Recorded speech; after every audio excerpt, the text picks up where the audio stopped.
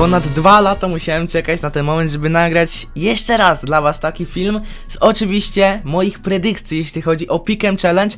Tym razem troszkę czasu minęło od poprzedniego Majora, bo jak możemy zobaczyć, ostatni Major był, no kurczę, w 2019 w Berlinie. Był to oczywiście Star Ladder, gdzie wygrało Astralis. Swoją drogą w ogóle zmieniły się to pozycjonowanie całe tego, bo to inaczej wyglądało, ale bardzo ładnie to teraz wygląda, to, to tak swoją drogą. Więc dwa lata od ostatniego Majora minęły, od tego momentu no troszkę się pozmieniało. Ta era dominacji Astralis, no już można powiedzieć, że się skończyła.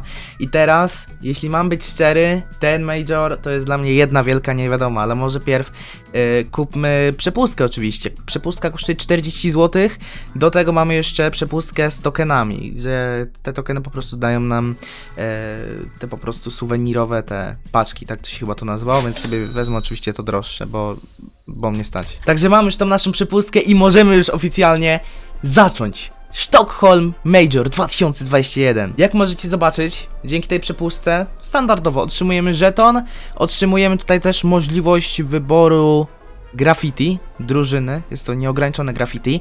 Ja sobie wybiorę graffiti Natus Vincery. Nie ukrywam, że to będzie e, drużyna, której będę chyba najbardziej kibicował, jeśli chodzi o tego Majora i mam nadzieję, że Navi w końcu tego Majora wygra i w sumie tak jakby jakby tak spojrzeć na te drużyny, to według mnie Navi ma chyba teraz największe szanse, jeśli chodzi o wygranie tego Majora, no bo jeśli ten Major odbywałby się faktycznie rok, półtora temu, to okej, okay. myślę, że bez zawahania dałbym Astralis, ale teraz to jest po prostu tak mocno 50-50, w sensie nie ukrywam, że nie śledziłem jakoś mega mocno sceny CS-owej od ostatniego Majora, ale bardzo dużo się pozmieniało i ta właśnie era dominacji Astralis, no już się już się po prostu skończyła po tych wszystkich y, zmianach, więc ja tutaj Navi będę kibicował i to jest właśnie drużyna, która według mnie tego Majora wygra i tak oczywiście będę stawiał. Jeśli oczywiście chcecie, żeby nasz żeton zupgrade'ował się na srebrny, złoty i diamentowy, no to musimy tutaj wszystko ładnie y, wytypować. Pierw musimy oczywiście nasze typy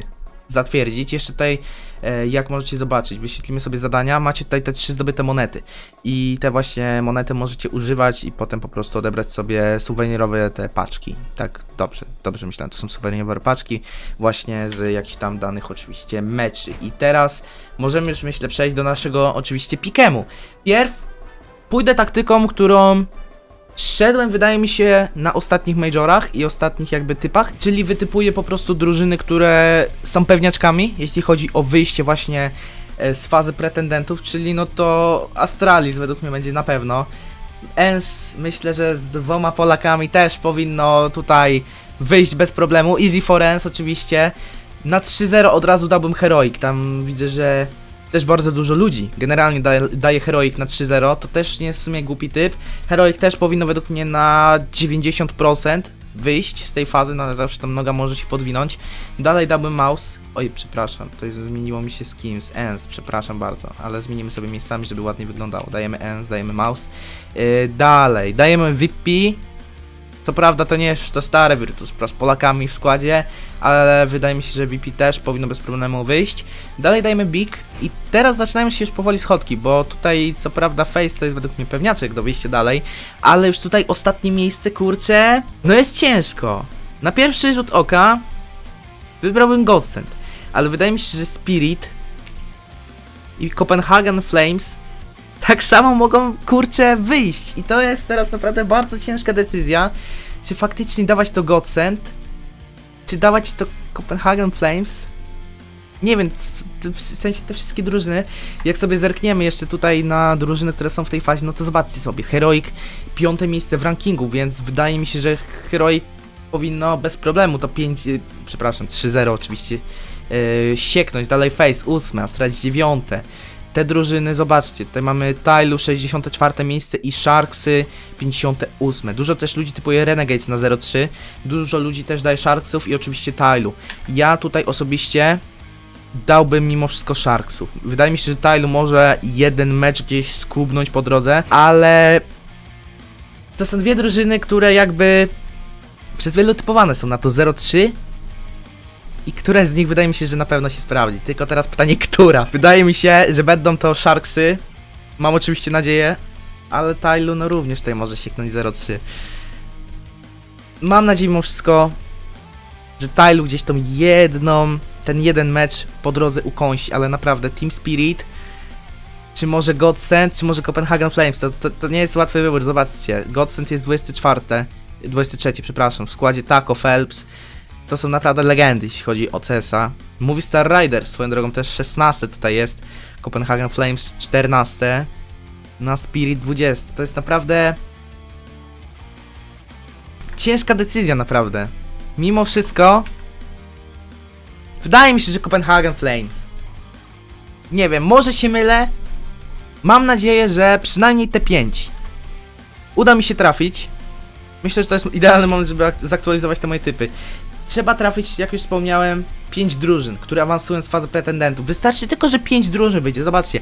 Astralis, Ens, yy, Mouse oczywiście, VP i Face. To już jest 5. Ewentualnie tutaj Copenhagen Flames i Big. To jest naprawdę, wydaje mi się, że do zrobienia jak najbardziej i przejdźmy sobie jeszcze może do tego żetonu naszego, bo potem zobaczcie, musimy obejrzeć jeszcze chyba e, jeden mecz, z tego co pamiętam, tak to chyba działało.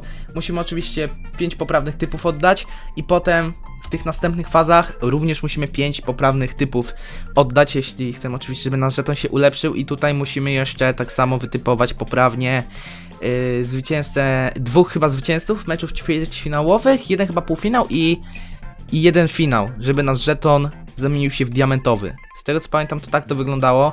Jeśli zerknę sobie na mój ostatni pikem, jak to wyglądało, to tutaj pamiętam, że tu mi się noga podłożyła, faktycznie. Tutaj coś pamiętam, że że była drużyna, którą wszyscy typowali, a ja jej akurat nie dałem. Coś takiego to było i to skreślił właśnie moje, moje to skreśliło moje szanse, żeby zdobyć diamentowy żeton, dlatego tutaj tak jolo poszedłem węz, mimo wszystko, iż mówiłem na tamtym filmie, że Astralis raczej to bez problemu wygra, więc y, tak to się oczywiście tutaj prezentowało. Mam nadzieję, że ten Major nie będzie miał jakichś większych zaskoczeń i faktycznie to na to z Winserę tego Majora ukąsi. Mam nadzieję, że co najmniej 5 drużyn uda mi się wytypować. Ale teraz jeszcze... No, odcinkowy giveaway, no. Jak odcinek bez skina dla widza. Mam tutaj cały pojemnik skinów dla widzów. Jeśli chcesz wygrać jakiegokolwiek, napisz w komentarzu, jakiego chcesz skina wygrać. Zostaw suba z dzwonem, łapkę w górę pod filmem i dopisz jeszcze do tego, co sądzisz o tym pikemie? Czy coś zmieniasz? Czy sam robisz tego pikema?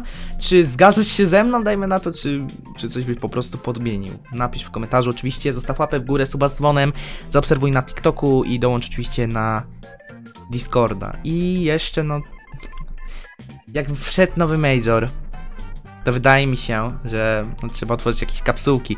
Generalnie najdroższa, najdroższa naklejka to jest złota naklejka Tailu. Co te Chińczyki robią z naszym rynkiem? Nie mam pojęcia, ale Tailu jest najdroższą naklejką, to sobie kupmy, nie wiem, z 3 takie może? 12 zł za 3 kapsuły. No i sobie je po prostu otwórzmy. Jeśli chcecie oczywiście powrót filmów z inwestycji wszelakich, to dajcie znać w komentarzu, bo mam naprawdę kilka fajnych typów, jeśli chodzi o inwestycje w naklejki z tego Majora. Jeśli oczywiście chcecie, to dajcie znać. Generalnie same naklejki prezentują się naprawdę fantastycznie i strasznie one przypominają naklejki z Katowic 2014, przez co te naklejki z Katowic mogą lekko spaść, a te naklejki mogą być faktycznie naklejkami, które, no nie powiem, że mogą sięgać cen z Katowic 2014, ale mogą one naprawdę fajnie kosztować. Mamy naklejkę Tailu, no szkoda, że nie złota, ale no jeszcze tutaj by się przydało kupić kilka naklejek Legend. Zobaczymy w ogóle jakie tutaj drużyny są w legendach. Mamy Gambit, Vitality, Evil Genius, Furia, Nip, Navi, G2 i Liquid. Są naprawdę drużyny, które trzymają ten poziom i tych może sobie cztery otwórzmy. Zobaczymy, czy to nasze szczęście może w tych kapsułkach nam dopisze jakaś złociutka. Ojejku! Evil Geniuses! Złota naklejka! Nice! Teraz pytanie, ile to kosztuje w ogóle Evil Geniuses z Michem w składzie? Kurde bela! Mamy złotą naklejkę! Ile to kosztuje? 15 zł. No dobra, profit jest! Jest, więc nie będę narzekał, otwieramy dalej. Nasze kapsułki oczywiście, może jeszcze nam coś uda się trafić. Coś złociutkiego, Navi było blisko. W ogóle te hologramowe naklejki też prezentują się naprawdę przyzwoicie. NIP to jest w ogóle coś pięknego ta naklejka. Jak to ładnie wygląda, kurde bela. Ale naprawdę, te naklejki prezentują się fantastycznie. Furia to też jest naklejka, która może ładnie odbić. To też taki mój typ, jeśli chodzi właśnie jeśli, jeśli chodzi o pojedynczy typ naklejki, która może odbić. O, Navi przeleciał. Kto by się spodziewał. Ale to jest naprawdę naklejka, która może ładnie cenowo odbić. Ja, jeśli chcecie oczywiście jakiś film z inwestycji, to dajcie znać w komentarzu. No i mamy to Navi, tylko szkoda, że nie holo, ani nie foila. Folia oczywiście. Zapomniałem jeszcze dodać, że podczas tego Majora pierwszy raz pojawiły się w ogóle naszywki drużynowe. Tak one się oczywiście prezentują. Więc jedną taką paczkę z naszywkami sobie otworzę, zobaczymy czy uda się trafić coś dobrego. 7 zł ponad kosztuje jeden taki pojemnik z naszywkami. Okej, dostajemy Evil Geniuses. Złoto w ogóle. Okej.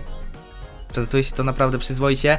Coś tutaj z CSGO ewi- ewidentnie mi sugeruje, że powinienem kibicować na tym Majorze Evil Geniuses. Z Michem w składzie. Się tak wydaje. No dobra, zobaczymy jak to będzie. Dajcie znać co sądzicie o tym moim pikemie. Wydaje mi się, że 5 typów jest tu jak najbardziej pewnych. Wydaje mi się. Bardzo boję się o tych Sharksów, że no faktycznie tego 0-3 nie zrobią, że gdzieś tą mapę po drodze ukąszą. No mówię, albo to Tailu, albo Sharksy. Nie wiem, może bym zmienił na Tailu. Dobra, zostajemy przy Sharksach, bo potem będę jak zwykle płakał, że zmieniłem i znowu zabraknie mi punkta. Dajcie znać, co sądzicie o tym pikemie. Dzięki za oglądanie, trzymajcie się i cześć, cześć.